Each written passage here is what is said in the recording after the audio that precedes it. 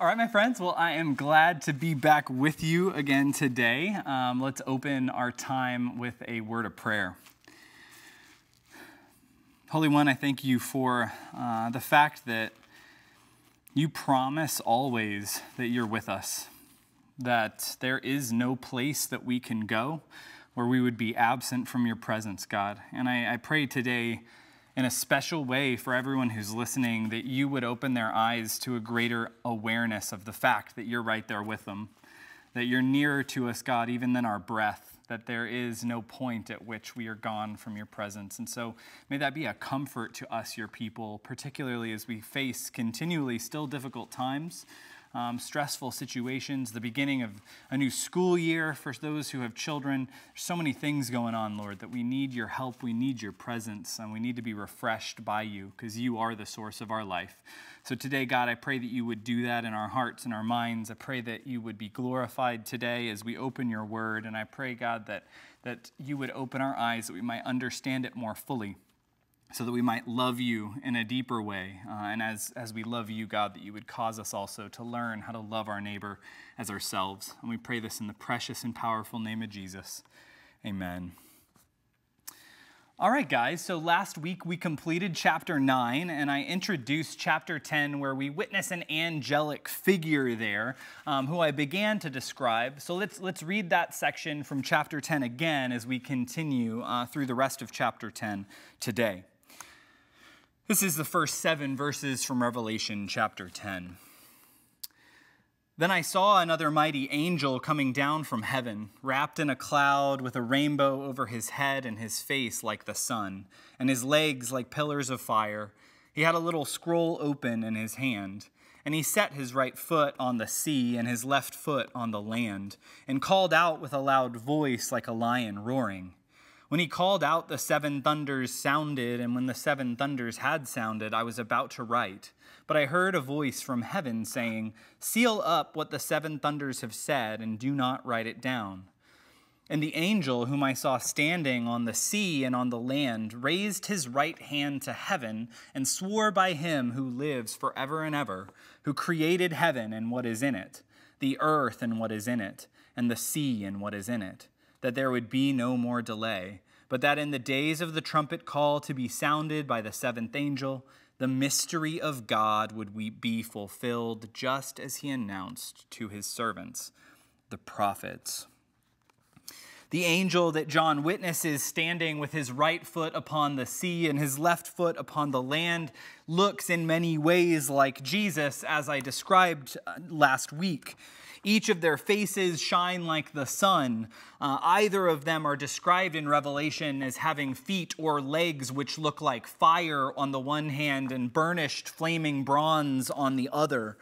This angel has a rainbow surrounding his head, even as there is a rainbow which surrounds the throne of God in heaven, which we see in Revelation chapter 4 etc. There's many very obvious parallels. And so while there are many who would argue that this angel is in fact Jesus, I for one am not finally convinced, and that is in particular because of Revelation 1 verse 1 or the first verse of our book where John says, this is the revelation of Jesus Christ, which God gave to him to show to his servants the things that must soon take place. He made it known by sending his angel to his servant John. Um, this is the first time where we uh, where the, the revelation which john is given shifts from being seeing alone a visionary kind of experience to where now he actually receives receives revelation directly from the hand of an angel. And i believe that this is what john is referring to in revelation 1 1 and so it is a revelation of jesus christ but it is not given to him directly from the hand of christ Christ himself. Rather, Jesus sends an angel to John in order to deliver the revelation to him. And the more that I read and the more that I kind of focus in on some of Peter Leithart's arguments, the more I am convinced that this is the Spirit rather than an, a merely an angel alone. The Holy Spirit is rightly called an angel, though that may seem strange, but the word angel in Greek, well, and also include the word angel in Hebrew, simply means messenger. And it, it may refer to some sort of an angelic kind of being, a spiritual being, um, but it can also be used to describe human messengers. And in this way, the Spirit is certainly a messenger who is sent by Jesus into the world uh, and, and to the saints. The Spirit comes to proclaim what he hears and to deliver those things to the saints. As Jesus says in John chapter 16, verses 13 through 15, when the Spirit of truth comes, he will guide you into all the truth, for he will not speak on his own authority, but whatever he hears, he will speak, and he will declare to you the things that are to come.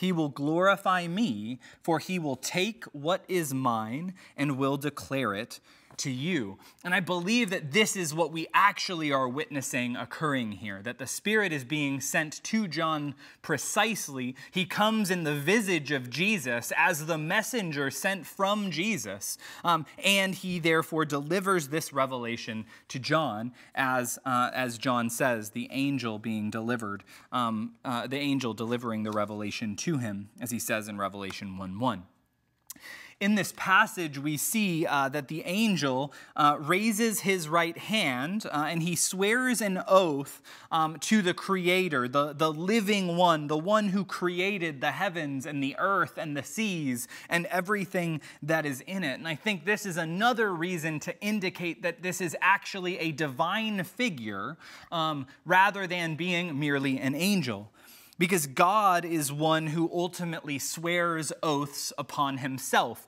We are commanded, on the contrary, not to swear oaths.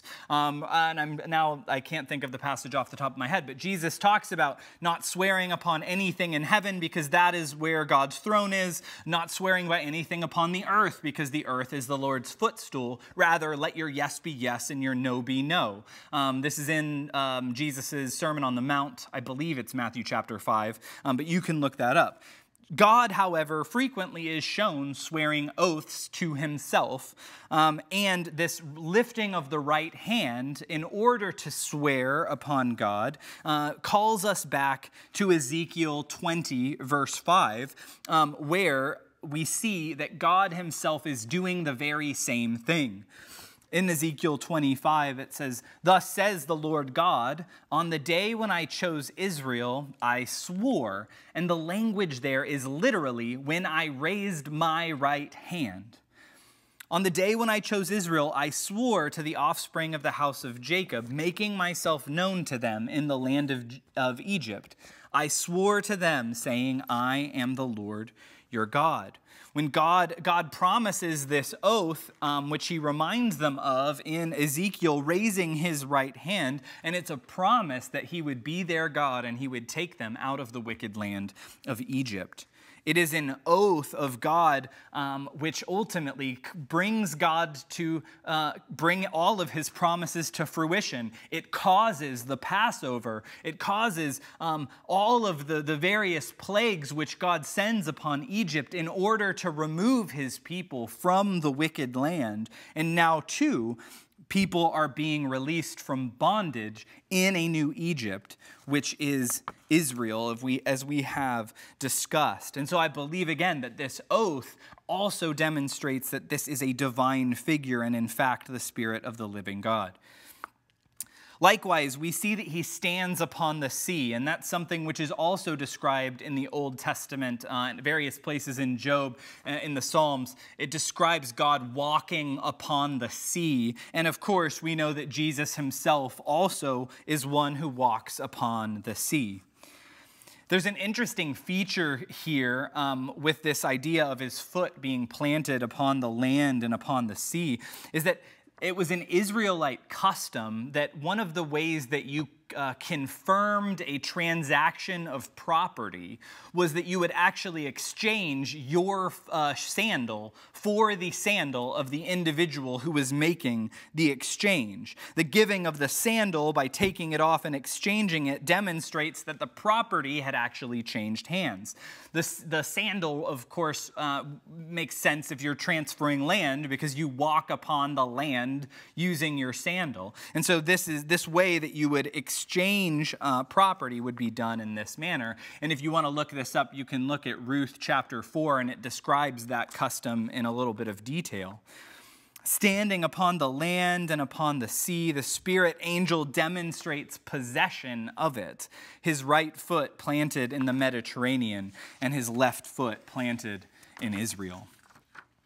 I think this, that we see here themes of, of creation as well. The Spirit who hovers over the waters in the beginning now stands upon the seas and the lands now as he oversees and promises that the delay is over, that the new creation is coming. The Spirit that hovered over the waters of the first creation now hovers over the waters of this world and will bring about new creation, which is ushered in through the resurrection resurrection of Jesus Christ. Jesus, who Paul says is the first fruits of the new creation. His resurrection is the beginning of the new world, emerging in the midst of the old. It is new wine that cannot be contained in old wineskins. It is new life in the midst of the land which is dead and among, among a people who lack faith. The old things um, are ultimately crumbling away, even as the new creation is coming in bit by bit. And you and I experience this already. And Jesus says in John 17, 3, Now this is eternal life, that they know you, the one true God, and Jesus Christ, whom you've sent. We, we already have eternal life. It's already begun for us. Go, passing through death is a mere formality, passing from this life into the life to come. Uh, and, it, and we ultimately know that, that for those who are in Christ Jesus, there will never be one moment, never even one moment where we are not indwelt and filled by the presence of God the Spirit, where God is never to leave us for any moment from the moment that we believed. And that's an incredible, incredible comfort. The Gentile sees also, again, are given priority. It is the right foot. And you see uh, in the scriptures that the right side is always given priority. I apologize to those of you who are left handed, um, but in, in the biblical picture, in the biblical images, the right side is always preference. And we see here that the Gentiles will come into the church like a flood, as he promised that they will. And faithful Jews as well are also going to be saved. But they will be saved either by escaping the city that has become like Egypt before its destruction, or through their own deaths as martyrs, who will then ascend into the presence of God into the heavens. Okay. Um, I want to finish reading out chapter 10, and then we'll discuss again this, uh, the, this issue of the mystery that is to be fulfilled. Um, all right. Uh, then the voice that I heard from heaven spoke to me again, saying, Go and take the scroll that is open in the hand of the angel who is standing on the sea and on the land. So I went to the angel and told him to give me the little scroll. And he said to me, Take and eat it. It will make your stomach bitter, but in your mouth it will be sweet as honey. And I took the little scroll from the hand of the angel and ate it. It was sweet as honey in my mouth. But when I had eaten it, my stomach was made bitter. And I was told, You must again prophesy about many peoples and nations and languages. All right. Um, now, there is a bit of an enigmatic phrasing here um, when the angel raises his hand and swears an oath to God um, regarding this time of delay, this mystery of God being fulfilled. Um, and what it says is, uh, what it's translated as more, most often is there would be no more delay. But the phrase translated that way actually says that there will be no more chronos, that there will be no more time. There are two words for time there's chronos and then there's kairos, each with a slightly different nuance to them. And how are we to understand this? The, is, this is John indicating that time itself is gone? Um, that would seem a strange way of, of understanding it. But let's look quickly at the way that John uses the word chronos and elsewhere. It has been used twice before in Revelation, once in Revelation 2, verse 21, where Jesus says that the woman Jezebel, who had been tempting the church, if you remember, um, they had been leading people astray, that, that for a time, for a chronos, she will be given that time to repent before she is judged. Likewise, in chapter 6, when you remember, I've mentioned this many times, when the fifth seal is broken and the martyrs cry out for vindication, um, they are told again that they must wait a short time, a short chronos, um, until God would vindicate them. And in the future, in, in Revelation 20, when we actually finally get to a section in Revelation that concerns our future, um, it says that Satan will be unbound so that he can deceive the nations again, which will cause some to fall away, um, that he will be released for a short time, for a short chronos.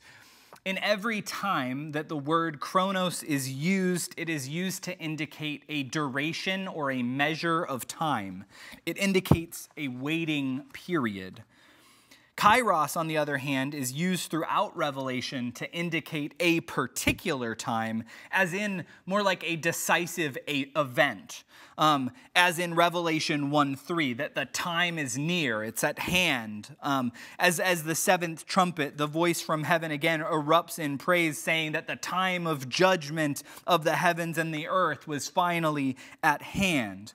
Um, it's always indicating a decisive event which was coming, as opposed to chronos, which is indicating a duration of time. And so when we look at these two usages, a chronos, a duration of time, a measure of time, um, is ended by a kairos, a decisive event. Contextualizing this then within the mission and work of Jesus, we see Christ likewise and repeatedly telling the people that the time is fulfilled, the kingdom of God is at hand. Repent and believe the gospel. And we see, we will see rather, in uh, the seventh trumpet, that this is precisely what does occur. That when the seventh trumpet rings, um, the angels are going to cry out, saying that the kingdoms of earth have become the kingdoms of our God. The time is at hand, as Jesus announced. Now, I think we might, of course, say that Perhaps this time was wholly fulfilled already when Jesus cries out upon the cross, It is finished. And that would make some sense. If it was finished, you would presume that it was all done. Um, however, we know, as a matter of fact, that there was more which was coming, which Jesus' death achieves. The saving death of Christ inaugurates the fulfillment of the redemption of the world, but we see that this comes in stages. Christ must die, but then, of course, he must also rise from the dead. Apart from the resurrection, Jesus' death is not salvific. If Jesus remained in the grave, as Paul says, then Christians are to be pitied more than all. Because, for one, we're guilty of lying about what God has done, and therefore we're guilty of great sin. But on the other hand, if Jesus did not rise from the dead, then he says, We are yet still dead in our sins and our trespasses, and that there is therefore no hope for us. So Jesus must, of course, die, but he must also rise from the dead. He must rise, but then he must also ascend into the heavens so that he might receive from the Father a kingdom and a dominion, as he says that the Son of Man, you would see me from now on seated at the right hand of the Father and coming on the clouds. That his death and resurrection also results then in his exaltation because now he is worthy to be the one who receives the kingdom. But in receiving his kingdom, of course, there is still more. The Spirit likewise must be sent forth upon the church and into the world, which occurs, uh, occurs at Pentecost. The fact that the Spirit is poured forth into the world um, demonstrates that the church had entered into the last days of that age, as Joel had prophesied in Joel chapter 2, where when the Spirit is poured forth on all flesh, you enter into the last days and the people who receive the Spirit would be able to prophesy about what God has done. And Peter speaks of this occurring in Acts chapter 2. But again, there's more. There's still more. The renewing and recreating work of the Spirit, taking what Christ has done and applying it to, to those who believe, uh, begins at Pentecost. But it also, in order for the Pentecostal work to be completed, the old world has to crumble. The old age has to fall. The old wineskins have to be left by the wayside the old world has to be destroyed in 70 AD. And this destruction of 70 AD demonstrates to us that Christ has actually become king, and that the world, which was enslaved to the devil altogether, um, is now coming to a decisive and absolute end. So, this, I believe, is the time, the duration which is coming to an end when the seventh trumpet blows. And then the mystery of God would be fulfilled. In Jesus, God is reclaiming the world from the powers of darkness. God is enthroning Christ and ushering in a new creation. One of the mysteries that are revealed in Jesus, as I said last week, is that the Gentiles are also now heirs of redemption, the way that Paul says this in Ephesians chapter 4. You can perceive my insight into the mystery of Christ, which was not made known to the sons of men in other generations, as it has now been revealed to his holy apostles and prophets by the Spirit. This mystery is that the Gentiles are fellow heirs, members of the same body, and partakers of the promise, uh, uh, partakers of the promise in Christ Jesus through the gospel. One of the most unbelievable mysteries is that Gentiles are now part of the family of God. That was always God's plan, um, as, as, the New Testament makes quite clear. It was always God's intent to incorporate Gentiles into his people, um, and yet the people didn't quite understand. The Jews had, in many ways, forsaken their mission to be priests and kings. Uh, they are given exactly the same calling that the church was given to be priests and kings in the world, to be light unto the other nations, so that the nations might be drawn to their light. And this is exactly the mission which Jesus gives to his church. Um, the phys- physical Israel failed to do it because by disobedience and adultery, they actually abandon God, that they don't follow what God would have them do. And this mission, along with this kingdom, is then given to a church which is composed of both Jew and Gentile who are now united in one in the body of Christ Jesus. We've all been united in Christ himself. But likewise, there is another mystery that Paul also describes, which I think is, is useful because we see these various themes playing out in Revelation as well. In Ephesians chapter 5, verses 4 through 7, it says this Therefore, a man shall leave his father and mother and hold fast to his wife, and the two shall become one flesh. This mystery is profound, and I am saying that it refers to Christ and the church. Right? This, this is another profound mystery, which is that because of what Christ has done, because, because of the work that the Holy Spirit has done in applying Jesus' work to us, we actually become united to Jesus. We become one flesh with Christ one body with one Lord, with indeed one husband of the church who loves the church as his bride. Jesus is judging his adulterous bride in Revelation. Right? This is the, the parable of the wedding feast, which is in Matthew what, 22, that, that, that those who were invited to the wedding, the king was throwing his son a wedding, and the people invited did not come but killed the servants, and therefore God destroys them and then invites everyone else to come to the wedding as well. As we proceed in Revelation, we're going to, to see, we're going to witness actually the scene, which is the wedding feast of the Lamb after the adulterous city, the Old Jerusalem, is destroyed. The old has to go before the new can come in. The martyrs are about to be vindicated. Their time of wait is about to be, is nearing its completion. And when the seventh trumpet blows, um, we will see the, this, this kind of complete sort of inauguration of, of this heavenly kingdom come to earth and the joining of Jew and Gentile into one bride. All of this is being fulfilled because the time is at hand, as the angel says. Now, the last few verses of chapter 10 rehearse again this uh, Ezekiel scene, as I'd referenced last week. Just as Ezekiel approaches God to receive an edible scroll, in the same way that Jesus, in the beginning of Revelation, approaches God in order to receive a sealed scroll, now too, John must approach this angel who shines with the glorious face of God, the shining face of God, to, in order to receive a scroll. As I said thus far, John has been a seer. He has witnessed many visions um, when he is carried into the heaven, but John now is to become a prophet, to be commissioned to prophesy in a different kind of way. And in order to do this, he's given an edible word which he must consume. Um, I want to quote this from Peter Leithart because I kind of loved it. He's referencing Thomas Aquinas, actually. But he says, as Thomas Aquinas said, spiritual food does not become the eater, but transforms the eater into itself. Having eaten the heavenly word as a gift from the angel of Jesus, John speaks the word because he becomes a word of the living word.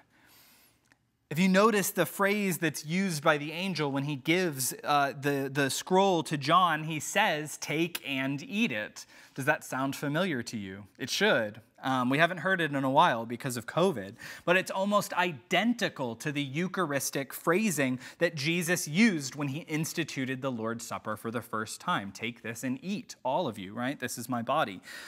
This is a Eucharistic meal which John is being given so that he might become the man that God is calling him to be.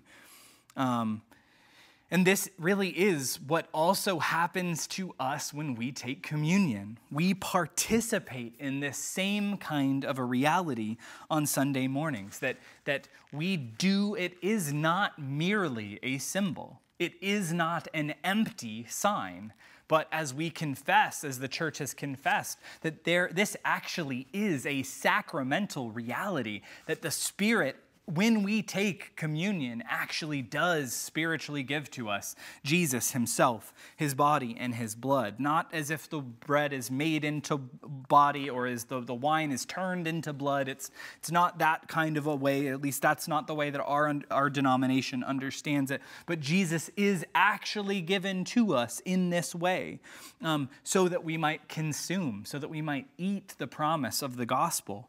As the reformers were fond of saying, along with Augustine before them, communion is a visible word. It is the, the gospel made into bread and wine. It is uh, a real promise of salvation to everyone who eats of it in faith. It's, it's, it's tangible. It recognizes the way in which we're not just thinking things. We need something more physical, more tangible, tactile, even, um, because that God knows that we're dust. He knows who we are. And so God does not uh, despise who we are, but rather God approaches us in ways that, that translate um, these realities realities to us in a way that wouldn't be otherwise. And he does throw through bread and through wine and, and through water, these common things which in the economy of God, by the power of the Spirit, actually does something tangible in us. It transforms us. Um, you know, this communion, it, it's a promise that Christ has broken his body and shed his blood, not for some indeterminate kind of us or, or some, some them out there. But when you hear those words, when you take communion, and I hope you remember this next time, when you hear those words, this is my body broken for you. I want you to understand that that's God throwing his voice. He's speaking through the mouth of Rob or whoever your pastor is if you're not from Coral Ridge. That is God throwing his voice, speaking to you, saying that this is indeed Jesus' body, Jesus giving himself unto you. It is true that you individually have been redeemed by Jesus Christ. And that we know is true as we receive it in faith. It's for you personally, even as it is for us together as one body. Those who eat the body and blood of Christ become, as he is, sacrificial servants of God and priests and kings. Right? We become prophets then who proclaim the word of Christ, which the Spirit then uses to create faith in the hearts of those who are fallen, so that they too might be redeemed when God gives us these gifts, as He gives John this word here, this book to eat, as He gives us bread and wine, it is in order that He might make us to be like His Son, and it assists in that movement. The 144,000 martyrs are said to follow Jesus wherever He goes, and that's because they have become like Jesus. By faith, they were united with him, and through the sacramental eating of his gifts of bread and wine, his body and blood, they too become those who will likewise pour their blood out upon the earth. But alongside this, we recognize, with even as John experienced, that these things are both sweet and bitter for us. The secrets which are now given to John are sweet, but they are desperately bitter because these are words of judgment and of woe. And in, in the same way, I think, you know, this thinking of communion, it reminds me of that George Herbert poem, The Agony, where it says, Love is that liquor, sweet and most divine, which my God feels as blood, but I as wine. I love that. Um, the sacrificial gift of Christ is sweet right? It is nothing less than redemption, resurrection from the dead, uh, recreation into his image, but it is given through his blood, through his very death. It is sweet, but it is bitter. Becoming like Christ is sweet, and yet to become like Christ is to be rejected, to be hated, to be persecuted, uh, even to be killed, um, as certainly this was the case in this first century, as Revelation describes. And it's been true around the world ever since as well. You know, we're very, very lucky to be in a nation where it, we really, I mean, it is absent of persecution, what we could legitimately call persecution in the way that is experienced throughout the world. Um, considering this, I think we must ask ourselves how are we using the freedom that we have um, for the sake of the gospel? You know, the, I, I was in India. Rebecca and I went to India, and uh, for uh, um, Anisha, she was a, an intern here. We went there for her wedding. Some of you may know her. And um, Prime Minister Modi of, of India is uh, very much um, a radical Hindu nationalist. He wants India to become a Hindu only nation if he can do his best. And what they have witnessed there has been an, an uh, unbelievable increase in persecution of religious minorities. Uh, and in the first case, to Muslims, but it's turning also to Christians as well. Um, Christians just represent a smaller segment of the population. And just being among them, you know, and, and realizing, talking with them about their fears. Um, they're real. I mean, at any moment, at any moment, someone could come into that church and could they could either be killed, they could be taken, thrown in prison, and at any moment, I mean, you would just have you have roving bands of of radical Hindus who are just killing Christians and killing Muslims. Um, you know, and it's, it's fascinating the way that while speaking to their pastor, what he said his goal was. He said that my goal, above all else, is that if at any moment they come in and they shut down this church, or if they come in and they kill me, that every single member of my church would be able, would be so equipped, would be so knowledgeable of the scripture and how what it means and how to teach it, that every single individual of my church could start their own home church immediately that day think that's such an amazing thing, right? I mean, he's the persecution which they experience are driving them, but it makes me ask, what are we doing in the midst of our lack of persecution, in the midst of our unbelievable freedoms? I think Revelation confronts us in the same way that it ought to confront the churches whom Jesus spoke to, where he warned them that they must repent because in, they, instead of faithfully following him, they were compromising by, by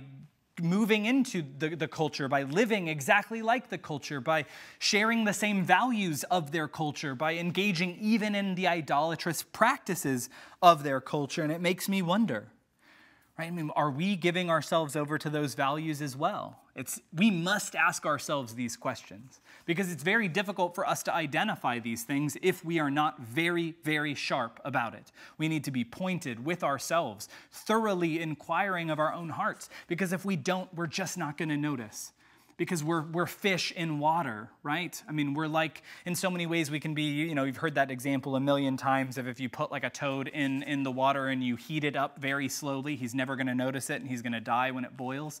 That is so often what we are like in the midst of culture um, because we are just, we're just in it without even realizing it. And I ask, you know, are we giving ourselves to materialism, to individualism, to a kind of political nationalism that is not becoming, that is not of God? You know, like the church of Revelation needed to be cleansed. We every single day, every week, every month, we need to ask ourselves and look in these things um, so that we would not uh, turn. I think it's especially true. I'm going on a bit of a tangent. I think it's especially true um, in, in such a politically charged environment, an environment where, in the midst of this crazy COVID, in the midst of, of just the abject, um, just almost, I mean, not quite destruction of our economy, but certainly a substantial dip, in the midst of the hostility and the hatred, I mean, we need to ask ourselves are we, be, are we, as individual followers of Christ, part of the solution, or are we still just being part of the problem? You know, I think it's so easy for us um, to, to buy into the narratives of the world, to, to just adopt the attitudes of those around us, you know, and especially in a political environment like ours. I mean, there are, I'm speaking of friends of mine, you know, I mean, there are people who really believe that they're the only hope we have for a future is if one of a Republican or a Democrat wins, depending upon their politics, that it's the only hope. Yet apart from that, everything is lost, everything is over. And are we also buying into these lies, right? That God's, because again, what are we defined by? Who, where is our identity? Where is our citizenship? What is the, the overarching reality in our life that makes everything else relative? It's the kingdom of Almighty God. The fact that you and I are kings and priests of a kingdom that is not of this world, but which is coming to it, which should hopefully free us it should free us so that we would not engage in the world the way that the world does. That we would be able to look fundamentally different, because we should. We should look fundamentally different from this world.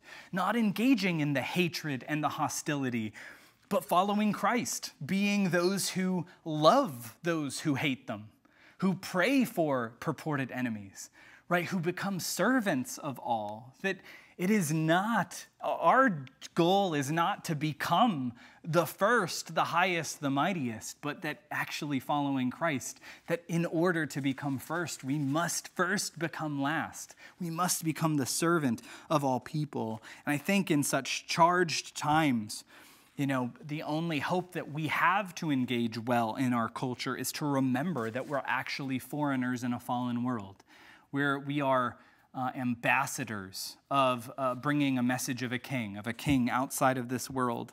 Um, and Christ's kingdom and his kingdom alone is the, the only thing which is going to last. Every other thing is going to fade. Every other thing is going to fade. Um, and so let us set our eyes on heavenly things. Let us seek always to become continually more like Jesus. Okay, I'm sorry. Enough of that uh, tangent. Again, we become like what we consume. We must, of course, consider what it is we are consuming. But when God gives us heavenly food, it's for transformation, as John himself experienced, being transformed from a seer now to a prophet. As Romans 8 17, we share in his sufferings in order that we share in his glory. Because we are united with Christ, all of his experiences will naturally become ours and hopefully, right, the goal, the, the destiny which each of us have is to become so like Jesus that we would be conformed perfectly to his image. I mean, just imagine what your life would look like if people mistook you for Jesus all the time. You know, I mean, could you imagine that? Like, oh, I thought you were Jesus. It's you, David, right? I mean, that's, that's it. That's it. That's, that is the hope above all else. That as we seek to follow Christ, as we engage in his word, as we s- experience the renewing of our minds, as we conform everything we think, we believe, and we feel to the scriptures, that we would be as Jesus is. All right. Um, one final thing, and then we'll end for today. The last verse of Revelation 10 um, says, And I was told. Um, that's how it's translated most of the time.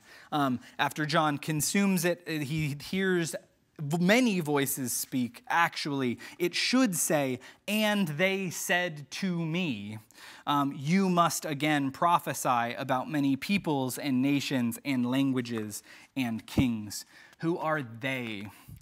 It is the Spirit as an angel. It is the voice of heaven from heaven which directs John to go and to take the scroll. It is the thunderous voices, the seven thunders that echo each time the angel speaks.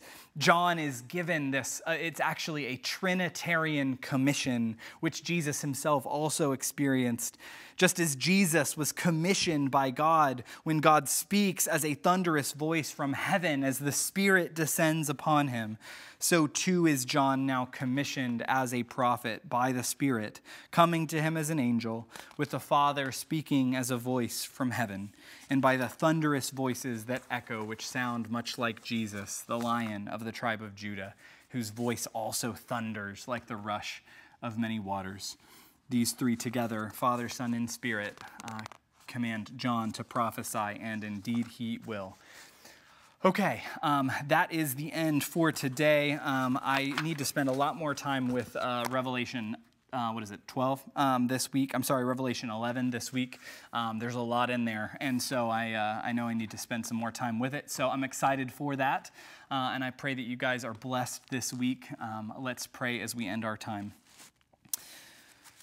Lord Jesus, I pray above all else that you would continue to make us to be your holy people that we would truly reflect you in ways that go beyond our capacity to even understand. That you would renovate every single area of all of our lives. That you would become Lord functionally of every single area of our lives.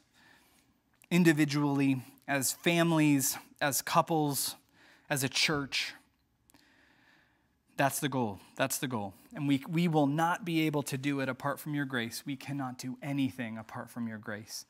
So, God, this week, I pray that you would convict us all according to our sin. I pray that you would renew our minds, that we might see things we have not understood before, that we might understand who we are, that we might understand what your purpose is for each of us individually, that you would give us opportunities that we might proclaim the gospel to those around us and that God, you would cause us to abound as the most loving people in a hateful world, in a divided and vicious world. Uh, that the nations rage, God, but as we remember and recognize you're sovereign, you're above all things, you work all things out for the good of those who love you that God, that that would give us comfort so that we would be freed from the hostilities that surround us, that we would show the world, as you said that we would, that we are your disciples by the way that we love. So, God, would you keep doing this in us? We need you. We need you. We need you, Lord. And we pray this in Christ's precious and holy name. Amen.